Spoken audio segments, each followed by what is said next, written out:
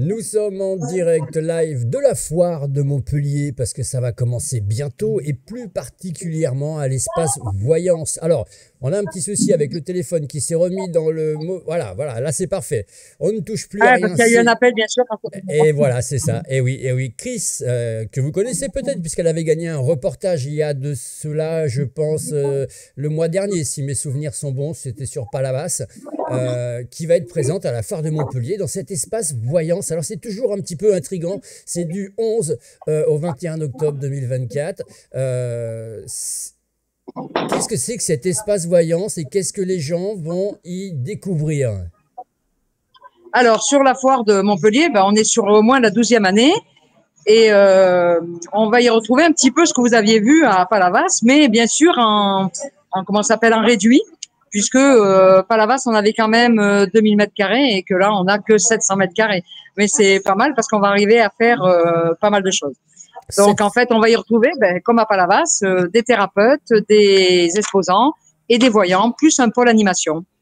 Alors, ce qui va être intéressant aussi, c'est ce fameux pôle animation, parce que dans ce pôle animation, il va y avoir notamment un rendez-vous avec, si je ne me trompe pas, euh, un certain, euh, alors comment on pourrait appeler ça, euh, hypnotiseur, si je ne me trompe pas? C'est ça. Alors, hypnotiseur, on appelle ça. Alors, lui, c'est un hypnothérapeute, on va dire, à la base. Hein. il a commencé par justement faire de l'hypnose de rue, comme on appelle l'hypnose de spectacle. Ouais. Et euh, sur le pôle animation, ça va lui permettre de pouvoir expliquer aux gens et de faire vivre aux gens la différence entre de l'hypnose de spectacle et l'hypnose thérapeutique. Et ça, c'est important et j'y tenais vraiment parce que les gens font, ils assimilent tout, et ils mettent tout dans le même panier et, et c'est pas ça. Alors, est-ce que toi qui as l'habitude de faire justement euh, diverses manifestations, notamment d'être présent à la foire de Montpellier euh, dans cet espace voyance, est-ce que euh, le public vient facilement à votre rencontre et est-ce qu'il est pourvu de plein de questions? Oui, bah, toujours. En, fait, on retrouve le public qu'on a, dans les salons, sauf que à la foire, pour moi, quand j'ai décidé de faire justement des espaces comme ça sur les foires, c'est que j'allais à la rencontre des gens qui connaissaient rien. Et euh, au début, ils nous ont regardé, ils se demandaient ce qu'on foutait là. Et maintenant, ils attendent. On a, on vient d'offrir plus de 300 invitations. On est en train d'en réclamer parce qu'on en a plus. Euh, mais euh, les gens, ils attendent la fois parce que ça dure 11 jours, parce qu'ils ont le temps, ils viennent, ils reviennent. Et effectivement, on a des gens qui vont passer, qui, qui vont se poser des questions. Et c'est là, c'est intéressant. Parce que du coup, ils ne sont pas dans l'étiquette de dire, ah, on est dans un salon de bien-être. Là, ils sont comme ils viennent euh, euh, chercher une voiture d'occasion ou venir manger leur sandwich au pôle restauration. C'est un peu, euh, voilà. C'est du tout venant, mais on a de belles surprises, hein, souvent. Oui, ça veut dire des belles surprises, des belles rencontres, des, des beaux échanges. Oui, des gens qui s'y attendaient pas et puis qui, en fait, se faisaient une idée, euh, pas que seulement de la voyance, se faisaient une idée sur, euh, ben, on parlait d'hypnothérapeute, mais sur un naturopathe, sur un kinésiologue, euh, sur tous ces gens qui font des pratiques et des médecines alternatives. Euh, et donc, euh, du coup, souvent les gens ils disent oui, j'avais entendu parler, mais je connais pas. Et ça, en fait, c'est là où on a tout à gagner parce que on, on a vu qu'on a touché le, le, le public et ça c'est bien. Et ce pôle animation pour moi est important là-dessus. Eh oui, non mais c'est clair. Alors c'est vrai qu'on en avait déjà parlé, on avait eu cette euh, petite discussion avant, parce que dans ce mot voyance, il y a du tout et du n'importe quoi.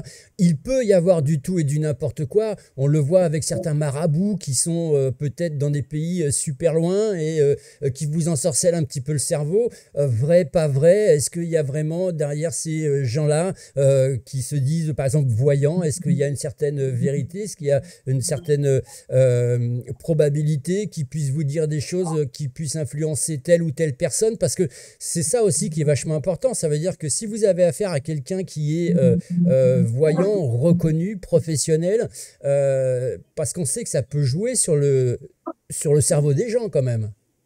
Ah ben là, je suis, comme je dis, moi je suis aussi médium. Donc du coup, moi quand je fais des consultations à mes clients, je leur dis toujours, moi je vous ai passé les messages, après vous en faites ce que vous en voulez. Euh, même si vous venez me voir dans quelques mois et que vous m'avez dit il faut aller à droite et que vous êtes allé à gauche, à aucun moment je ferai des reproches en vous disant vous auriez dû m'écouter. Non, c'est qu'à ce moment-là, les gens ils devaient faire aussi leur expérience. Donc euh, euh, moi longtemps j'ai pas voulu pratiquer parce que justement je me sentais responsable de la vie des gens et ça j'en avais pas envie.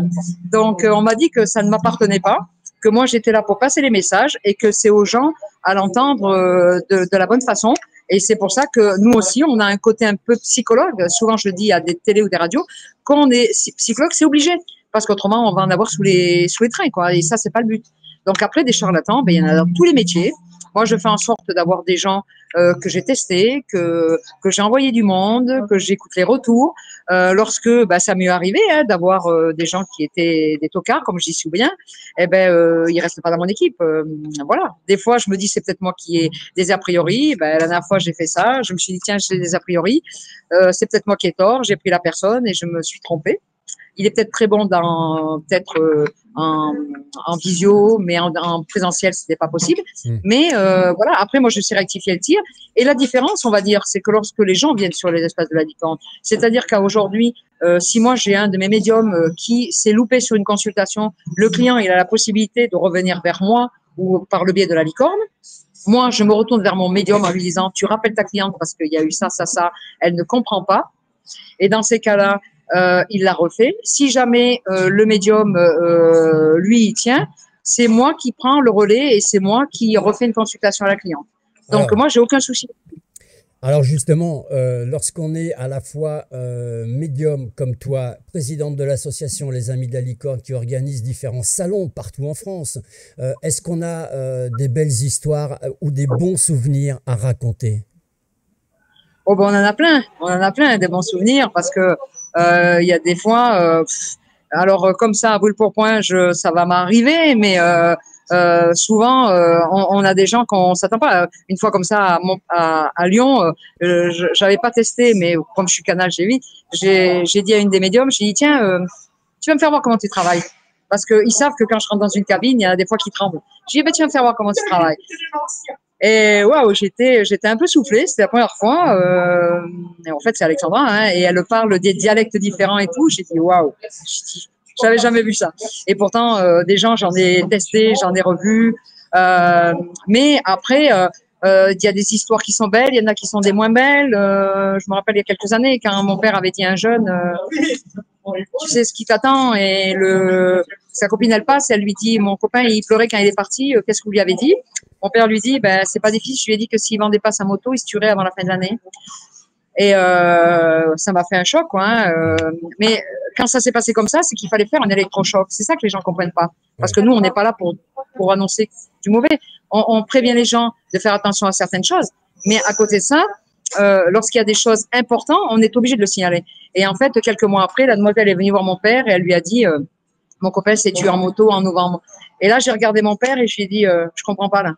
Je dit, Tu lui avais passé le message et mon père m'a dit Mais je suis qui, moi? Je suis pas Dieu. Mmh. Moi, je lui ai passé le message. Si le gars, sa passion, c'est la moto, il a fait son choix. Et c'est là où on revient toujours au même choix. Chacun fait ses choix. Et, euh, et moi, je me suis dit, mais à un moment, de, à ce moment-là, j'avais 35 ans, j'ai dit, bah, en fait, on sert à quoi, en fait, si on peut pas aider un peu les gens. Euh, mais bon, après, on a de très très belles, euh, de très belles histoires, euh, des rencontres qui se font fortuitement. Eh ben, et qu'on dit, ah ben, tiens, pourquoi pas, et on fait de belles aventures, hein. On fait de belles aventures. En tout cas, c'est à découvrir et on tenait à mettre à l'honneur, bien sûr, cet événement qui est à la foire de Montpellier dans l'espace voyant. C'est un espace où à la fois vous allez pouvoir y faire des rencontres, vous allez pouvoir vous poser un tas de questions et puis surtout, surtout attendre de belles réponses euh, parce qu'il ne faut pas hésiter, on y croit, on n'y croit pas, il ne faut pas hésiter à poser des questions. Et ça, c'est très important. Et puis, je vous rappelle bien sûr que euh, la foire de Montpellier, c'est au parc des expositions. Donc, pour se garer, il n'y a aucun souci. L'entrée, euh, Chris, elle est payante normalement? Oui, alors elle est payante. Nous, on envoie nos, les gens qui veulent nous voir sur notre espace. On, on, va vous en donner pour que vous puissiez en offrir. Euh, nous, on en a, euh, on en a gardé pour euh, votre émission. Là, on est en train d'en demander parce qu'on n'en a plus. Autrement, les gens vont sur notre site de la licorne, www.licornedor.com. Et c'est bien. Et je vais rebondir sur ce que tu disais justement après, on y croit ou on n'y croit pas. les soirs de nocturne, on animera avec des questions-réponses en live, en public à, face à des gens. Ça, on le fait depuis des années. Les gens sont habitués. Et je serai accompagnée euh, eh ben, par Sandy Tatou, euh, mon amie qui arrive de Paris, qui a l'habitude. Euh, T'as pas pu la voir la dernière fois que vous êtes venu ouais. parce qu'elle était qu'une seule journée. Et là, elle m'a dit je viens à Montpellier cette fois-ci, je reste avec toi. Donc, euh, elle a l'habitude des réseaux. Elle est très connue sur les réseaux et euh, ça matche bien. Et vous verrez, il y aura de belles surprises. En plus, elle va faire des tirages, elle va offrir des choses. Franchement, on a un très très bel espace. Alors, on est octobre rose, on est dans le rose et euh, il faut pas oublier qu'on est le mois d'octobre et que ça aussi, il faut y penser. Eh oui, en tout cas, merci beaucoup Chris. On sait que tu es en pleine installation. Alors je vous rappelle aussi que vous pouvez faire gagner un reportage euh, sur la foire de Montpellier à Chris, président de l'association Les Amis de la Licorne. Il vous suffit de voter le chiffre que vous voyez en haut à droite, le chiffre 2 qui est juste ici. Et bien sûr, euh, si euh, Chris remporte, comme elle l'a déjà remporté le mois dernier, on ira avec une équipe de télé directement sur place. En tout cas, merci beaucoup Chris amitié à Cindy parce qu'on avait échangé un petit peu par, euh, euh, par SMS et euh, voilà, je percevais des choses très très sympathiques avec elle. En tout cas, on croise les doigts et merci puisqu'on va faire gagner ce soir, bien sûr, des places pour cet espace voyance à Montpellier. Merci beaucoup. Avec plaisir. Avec plaisir.